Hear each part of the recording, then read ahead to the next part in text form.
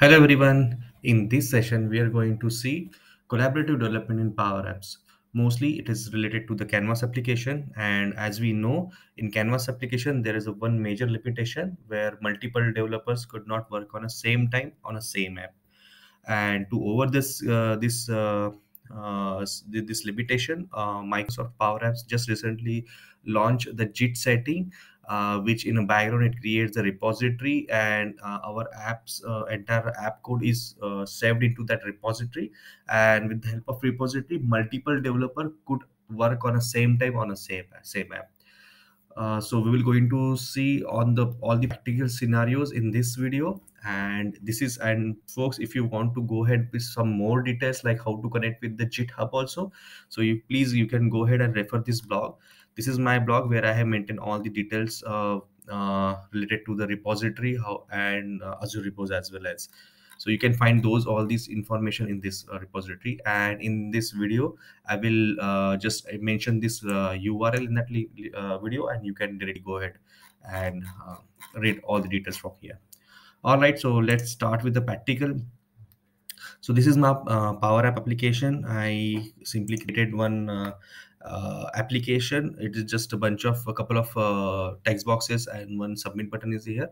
And I, while working on this app, I uh, want one more developer who could help me to speed up some things on Power App so I could deliver a little bit faster. So I want one more developer can work on the same app on the same time so in uh, in normal scenario what we do like you know the first what what the one thing that we come in mind like you know we can share this app to the other developer. So let i just click on that application that uh, icon and let me share this app to the other code developer yeah from here uh, yeah this is my code developer i already shared with him and make him as a code developer so he can edit and make some changes on app so it is already been there. And now if i go down and logged in with that user so here i'm already logged in here as a gagan. So he is the other developer who can work on this app. And go to the move to this applications. So here while i uh, share that app to him so this uh, my app one is already been here. He can view it but let's say he can edit this app. So i just clicked on edit and let's see Mm, okay, so here what uh, message I'm getting? So this app is already being locked with the Chetan uh, user, uh, which is the owner of the app. And uh, once I whenever uh, whenever once I save that save and close the tab, then only this developer can work on a same app. So this is a pretty much normal scenario where we understand we can we cannot work on a same application on the same time. So how to resolve this situation? Like you know, so to resolve this situation, I will again move back to the main app on owner app. So this is me uh, and i'm the owner of the application. So first uh, i need to uh, enable the settings git setting here. So i need to click on this settings go to the upcoming features click just simply search for git so here you can see on under the experimental tab uh, this git version control setting is uh, is showing over here so i'll just need to just um, enable it. So before uh, just moving further so i'll just want to make sure that please do not use this this feature uh, uh, if you already have been working on an app which is going to soon in a production or it is already been in production because it is under experimental and it, it's slightly a buggy. Uh, some of the features is not supported like many to one feature uh, which is i personally feel uh, while i'm uh, working with the multiple developers so i am getting that passage in uh, some getting this message like you know that uh, multi-level uh, many to one relationship is not supported. So those kind of things that uh, i uh, encountered. So that's why may, that's why make sure that please do not use this feature if you are already in, into the production or you're working on app. All right, so I've enabled this and and this you can see this Git con version control button is enabled. Let me click on connect. And now we can see it asking uh, asking us for three things uh, like uh, we need to provide the Git repository, then branch and then directory name. So let's get and let get uh, move to the Azure repository because we need we get these things from the repository. So here I already been logged in Azure DevOps, and in Azure DevOps I have uh, you know here into the repos, and in the repos section uh, I just need to click on this clone, and you can see I'll getting this repository URL. So I'll simply save it somewhere else in secure location. click on now I have to click on this generate git credentials and grab the username and then grab the password. So team, uh, make sure that uh, whenever you uh, get this uh, information, so please secure, save it somewhere into securely into the notepad because once you moved out from this form, then password uh, you cannot cannot see the password again. Instead of instead of that, it, every time it will uh, show the new password. So that's why make sure you save uh, your password somewhere in securely. All right so i get get those things. So firstly i need to add the url so this is my url i'll copy it save it here. And yes if you're familiar if you are coming from the .NET or java background so you must be aware of the branching because uh, if you want to work on a multi uh, multiple developers want to work on the same application so in that sense we we can create a repository and uh, we can have our own branch so this is something similar here also. So i'll just add my branch name is master and the directory name. So apps code.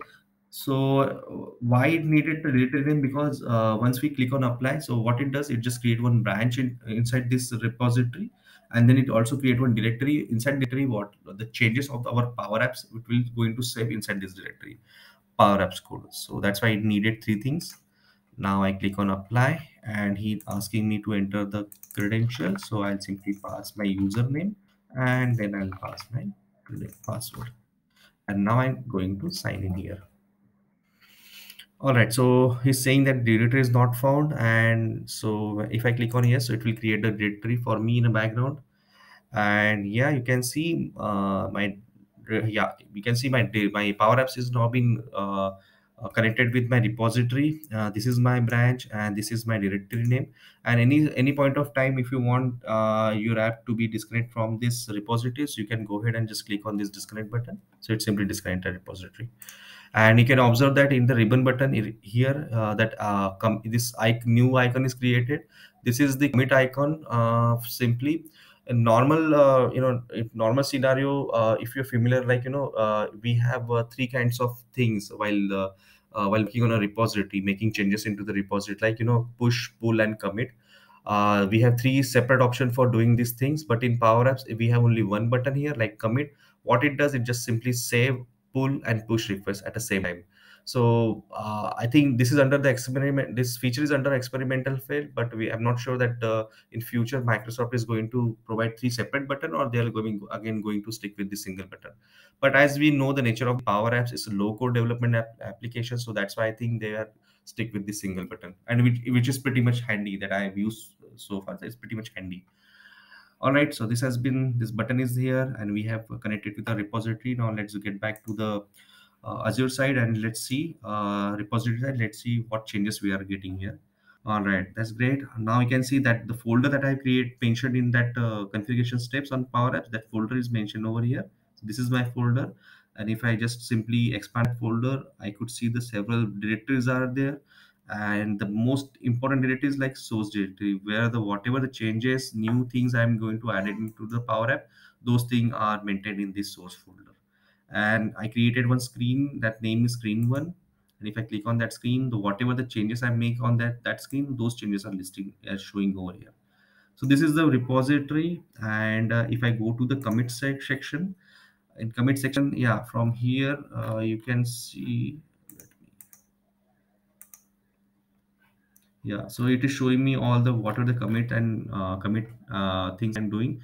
So those things are also is is uh, it is right now showing from here all right so this has done uh, and now let's go and to the other developer uh, where previously this app is logged now we're going to see uh, right now once we have that repository is enabled and this have already been shared with that uh, developer. So does he have access or not? So i'll just simply click on refresh.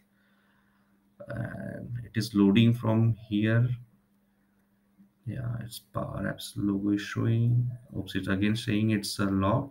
Now what i'm trying to do because uh, most of what i observe whenever i make any uh, whenever i connect this repository power app with the repository so at that moment i need to save my changes publish and then i need to refresh from the owner side and then only it will allow then uh, then only the other developer will allow to open at that end so this is something that i found it over here so the same thing i'm doing here so just let wait for the publish thing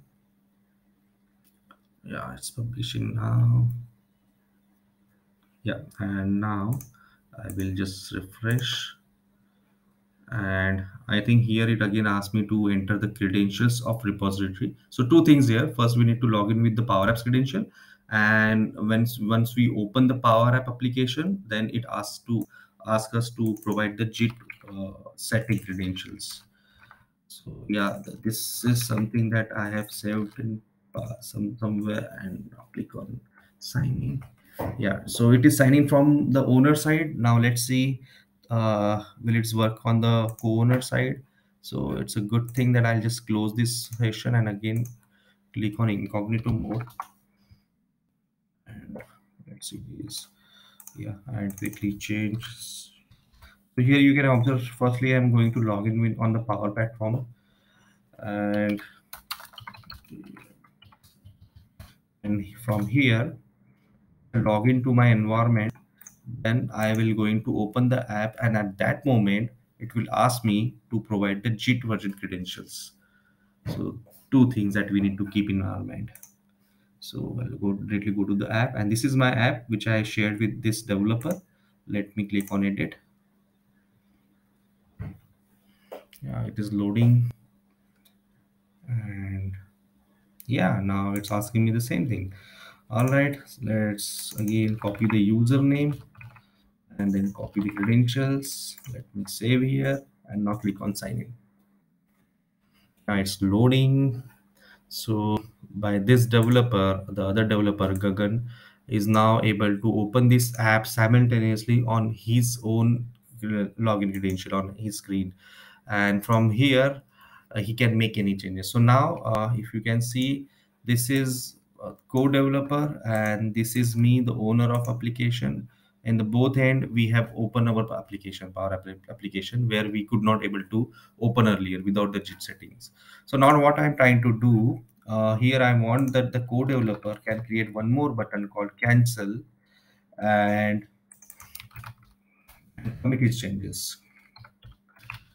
All right i've added here and let me rename the button name. Yeah cancel. And now I, you can see i just added this button. Let me click on save. And instead of publishing i just need to click on commit. So from here what is doing so here i think he's internally just simply uh, commit his changes and pull the and push the changes into the repository. And let's again go back to repository. Let's see us if we are correct or not. And if i go down here repository and simply open the source go to the screen one and just simply search for btn cancel. Yeah you can see that the new button that i have added that button is now showing. And right now it just have the text cancel that x-axis is 470 y-axis and z index. Those are the simple things are mentioned over here. And now i'm going back to the owner of the application uh, and here i'll see those changes are showing me or not so now for getting those changes i need to click on again commit button. And this time what commit button is doing is just again it's just going to the repository and push and pull all the changes. And you can see uh, this cancel button is not show is now showing over here. And from here let me move let me make some changes from the owner side. So i don't like this color so i'll make it as a red. All right. I okay i'll make it red. And now again i'll just simply click on this commit button. And again uh, now i make some changes. And once i click on this commit button so my changes is pushed into the repository. So again i'll refresh here. And let's see my changes are showing or not. So this is my screen. Again i'll search for that button. Yeah you can see earlier that the color is not there red color is not there but it, it is now is it is been added over in the repository. And rest of the things we already seen previously. And now again i'm going back to the co-owner side. So and uh, here that changes is not showing. So here i'm click again click on this commit button. And this time it will just simply pull all the changes from repository